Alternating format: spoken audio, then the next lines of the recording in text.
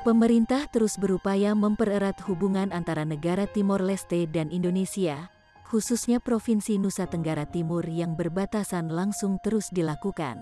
Setelah upaya zona perdagangan bebas di perbatasan Indonesia, Timor Leste, kini Indonesia mengupayakan bebas visa bagi warga negara Timor Leste yang hendak berkunjung ke Indonesia, khususnya wilayah Nusa Tenggara Timur.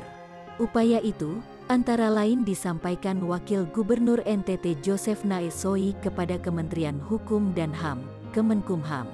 Menurut dia, bebas visa bagi warga Timor Leste yang masuk ke Indonesia melalui NTT sangatlah penting karena mampu memperkuat hubungan ekonomi kedua negara yang berbatasan daratan secara langsung.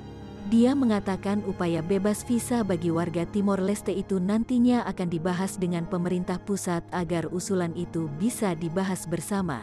Dia juga mengatakan bahwa harapannya itu disampaikannya menanggapi permintaan dari Presiden Timor Leste Ramos Horta untuk meningkatkan kerjasama ekonomi sosial budaya di antara kedua negara yang berbatasan darat itu.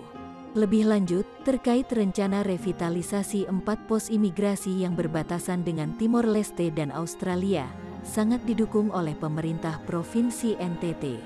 Joseph mengatakan bahwa pemerintah pasti akan membangun komunikasi secara intensif dengan pemerintah pusat, dalam hal ini dengan Kementerian Hukum dan HAM RI, agar berbagai rencana penting ini segera terrealisasi secepatnya. Ia pun berterima kasih kepada Kepala Kantor Wilayah Kemenkumham NTT atas berbagai upaya pendekatan pelayanan keimigrasian yang tengah dilakukan saat ini. Sebelumnya, Rabu tanggal 11 Januari tahun 2023, Menteri Luar Negeri Indonesia Retno Marsudi dan Menteri Luar Negeri dan Kerjasama Timor Leste Adalgiza Albertina Xavier Reis Magno melakukan pertemuan bilateral di Jakarta.